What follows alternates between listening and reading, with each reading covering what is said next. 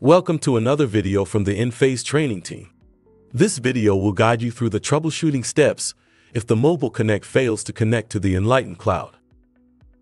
If an IQ gateway with a Mobile Connect experiences network issues, first check your Enphase installer app to verify whether the IQ gateway software is updated to version 7.3.120 or later.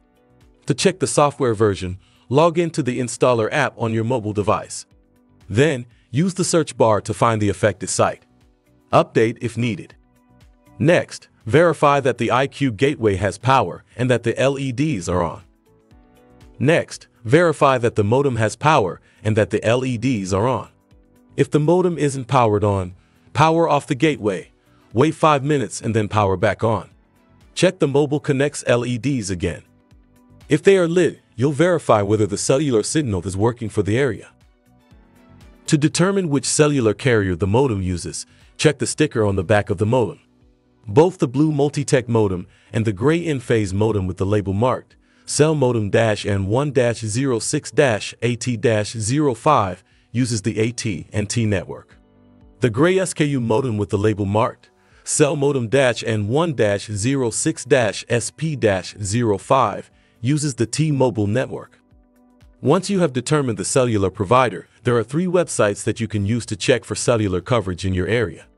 The FCC Mobile LTE Coverage Map, OpenSignal, or Cellmapper websites. Open any of these in a web browser window.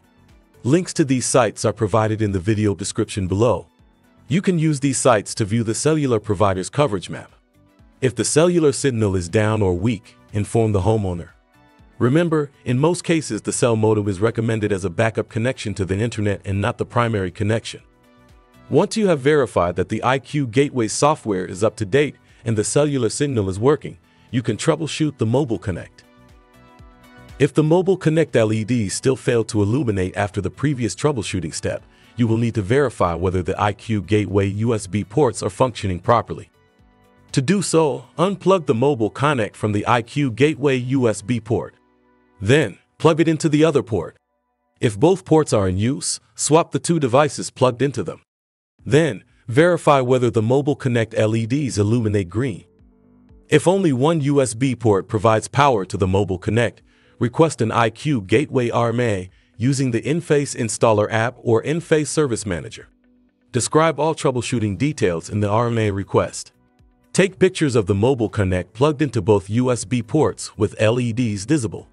Include these pictures in the RMA request. If the Mobile Connect LEDs fail to illuminate after trying both USB ports, a replacement Mobile Connect is required. We hope this video will help you in your quest for troubleshooting knowledge with the Enphase Mobile Connect. Thanks for watching.